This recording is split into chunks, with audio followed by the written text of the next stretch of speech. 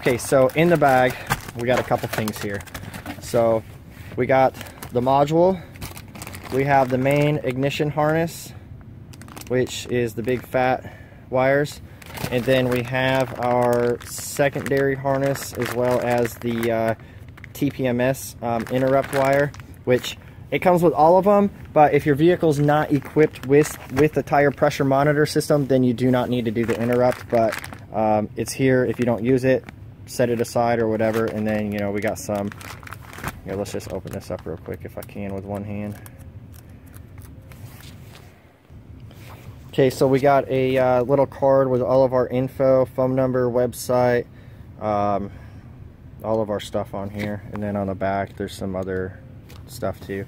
Uh, we got a warning decal that you can stick under the hood if you want to. It just basically warns uh, mechanics and whatnot that there's a remote start on the system uh, on the truck if you know if they need to deactivate it before servicing. And then we got an alcohol pad that basically just prep the surface for the sticker. Like I said again, module um, our harness, second harness, uh, TPMS interrupt, and then we got some instructions here too. So, okay, first thing we're gonna do, um, how I usually do this, I start with the uh, uh, main harness here. This is the factory connector that I unplugged. So I'm gonna plug it into uh, the mating connector, okay? And then we got the replacement that goes up here. I can get that in there. So plug it in. Okay, and then we got that. And then this, um, there's plenty of slack right here to zip tie it up. Um, but I'm gonna show you, just open this up, open that up, and then we pop it in. It, it matches with all the factory wiring. I'm gonna put a zip tie around that since I broke it and it's freaking cold. That one clips back in as you heard it. And then just route it over to the left here Um, there's one loose wire, which is a black wire that goes to chassis ground, and I will show you where to put that um, shortly. So um, from this point, you can zip tie this puppy. Uh, there's a good solid harness right here. You can zip tie that too. Just make sure you position this in a way um, and it's not tight. So when you telescope the steering wheel back and forth, um, that it has enough slack to move with the steering wheel. It doesn't move but a couple inches so um, I usually just leave some slack here and it's not it's not big deal at all. Okay so secondary harness we got two adapters. We got the OBD2 then we got the BCM which I talked about earlier. So the BCM harness I usually start with. It goes right back in here. So I already unplugged it as you saw earlier. So basically plug the factory connector into here. Now make sure that there are no bent pins in here. These are super fragile OEM pins you need to be careful of. Uh, don't force it. So as you see, it slides right in and then you'll you'll hear it click. So we're good there. Now this end, plug right back into the BCM. You'll hear that click too, okay? Um, the next one we need to route is the OBD2 connector, which goes down here that we pulled out of the airbag mount you basically put the old uh, factory one into the mating connector and then the white one that looks just like the factory one. You poke down in here. Oops if you can put it the right way. And it will audibly click. So um, here again just zip tie it. There's lots of uh, slack on the harness. Um, and then what's left is you got three connectors here you got a big white one, a medium white one, and a small white one. I know, super technical terms, right? Okay, so these plug into the module, which I'm gonna go grab um, and then show you the programming process.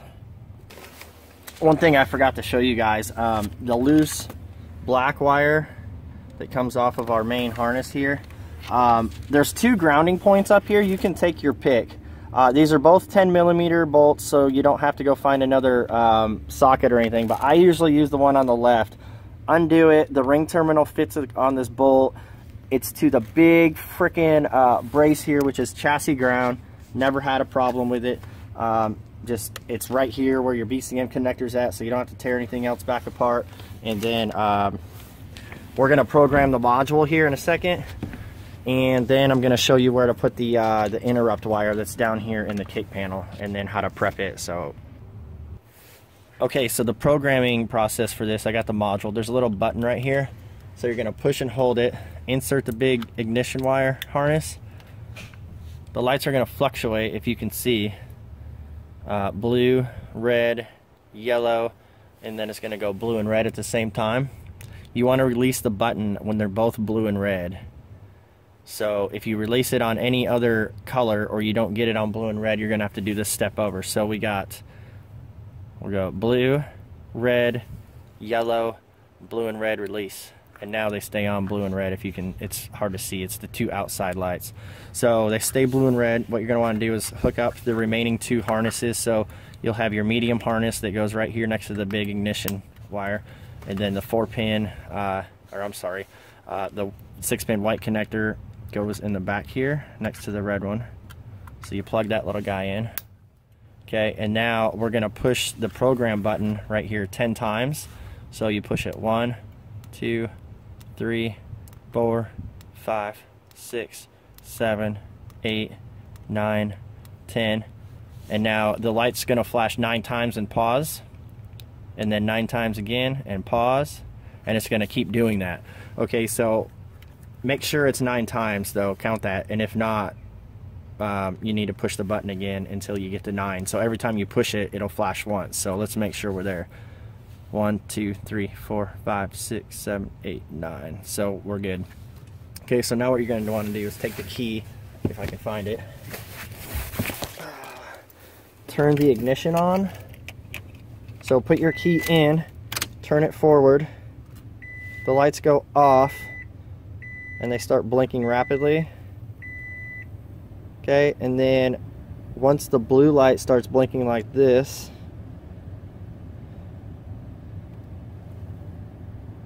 that means the CAN bus has been programmed. You can turn the key off. And now programming is complete. So basically when you turn the key on, the lights are gonna flash, uh, then it's gonna go off, and then the blue light's gonna flash. And when the blue light flashes, that means that the uh, data the data part of the module is programmed and you are now done. Man this is a freaking long ass video man. I'm sorry guys. So now if I push the lock button three times it's gonna start but we won't be able to unlock the vehicle while it's running because we haven't done our um, interrupt down in the kick panel but um, I'll show you that here in a second.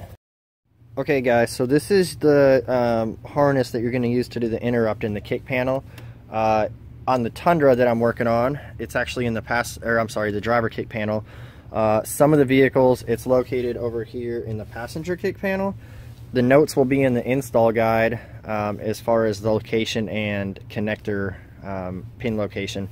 So basically what you're going to do, you're going to get this whole harness here, but you only need two wires.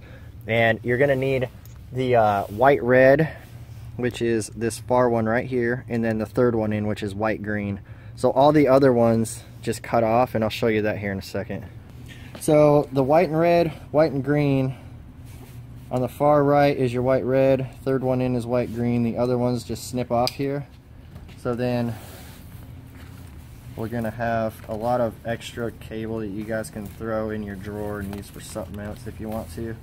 Now, what I usually do is take some electrical tape, tape up those little loose connections there, and then I'm going to show you two methods that you can use to twist these wires. Use the red one. Tie it right here. And then you take your drill and you come back here and you put the wires in it and you can pull it. Just a couple seconds. You don't want it super tight. And now your wires are nice and twisted all the way down. Okay, so as far as these wires go, um, I recommend soldering them into the vehicle. In the event that you don't have a soldering iron or um, you just don't want to do it, uh, we include these two little butt connectors. So strip the insulation off, twist the wire up, and you can fold it over to have a little bit thicker wire there, and then you can insert into the butt connector and then just crimp it down and now you got a good solid crimp. And you'll do the same process in the vehicle. All right, guys, so now for the, the moment you've all probably been hating for. the kick panel over here. Um, so as you know, we twisted up the white, red, white, green wires. They come over, um, just route them back over and down to the kick panel here. Um, just kind of make sure you get it behind everything and when you bolt the dash back up, nothing's get pinched.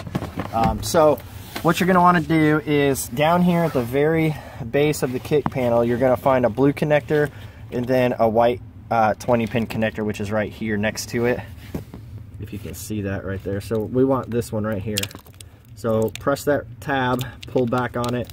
Um, you, you're going to have to undo this black electrical tape and then the interrupt wire is to be uh, let me fold this over and show you guys. So this is the bottom. It's to be right there next to the big fat blue one uh, right here. It's pink on this connector. It may be red it may be another color in your truck depending on the trim level and what your um, truck's equipped with as far as electronics and whatnot. But it's always going to be that second pin in. So on this one it's between the blue one and the yellow. It's pink on this truck like I said. It might be different on yours but you always want to do the second um, pin in. And we're gonna cut that wire and I'll show you which side goes where here in a second. Alright guys so you got two wires down here obviously. You got your white red and then white green. White red is gonna go uh, right here on the connector side like this. Or if you're soldering solder it there. White green goes over here to the car side. So what I did was I stripped the insulation let me turn the light on. I stripped the insulation back on here and folded the wire over to give it a little more uh, thickness so it'll crimp good.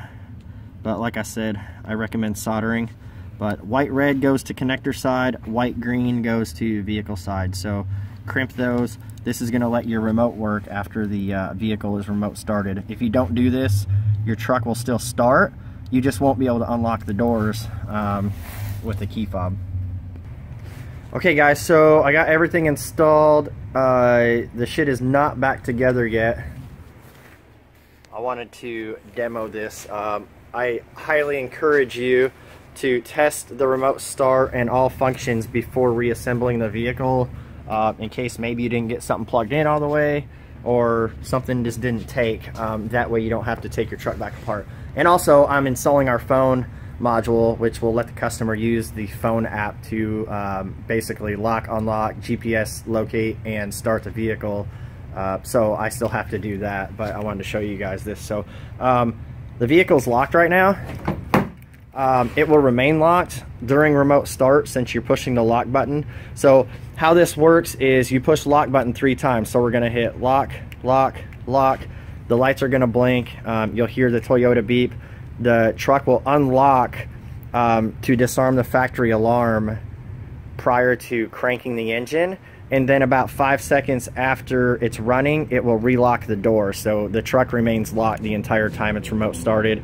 You'll walk up, you'll push unlock, you can open the door, the truck stays running, you get in, put the key forward, and you can just drive off. So um, unlike the push button starts, this one will not turn off with the door closed. So here we go. So we're gonna hit lock, lock, lock.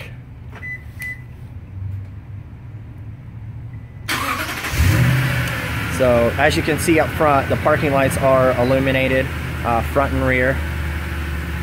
Uh, the doors, like I said, about three to five seconds after it started um, will be locked. And now you can hit the unlock button. And you can get in. Obviously, we're still, the, car, the truck's still running. Uh, something to note is if you do the interrupt in the driver's kick panel or for the TPMS, your TPMS light is going to flash during remote start. Uh, that's because we did the interrupt, uh, which allows the factory key to operate remote start, um, or I'm sorry, locks during remote start. But when you do, when you put do the key takeover, hold on a second. So you put the key in, two clicks, one, two, and now when you push the brake, to pull it out of park. It disengages the remote start and then your light goes off. So that is normal for it to flash during remote start, but as soon as you do the key takeover, it will go away. And then turn the key off and you're good to go. So um, again, lock, lock, lock. You'll hear the door unlock, so it's unlocked right now. And then about three to five seconds after it starts, the door will lock. So it's basically if you have an OEM alarm, um, it disables the alarm and then reactivates it after it's running. And then it's locked. Push the unlock, you'll see parking lights flash, and then you can enter the vehicle. So super awesome, super convenient. And if you guys have any questions, holler at me. Uh, all the info is down there in the description. And again, this is an 18 Tundra. The guy drove from Houston. Uh, this is a 1794 package, as you saw. So. We'll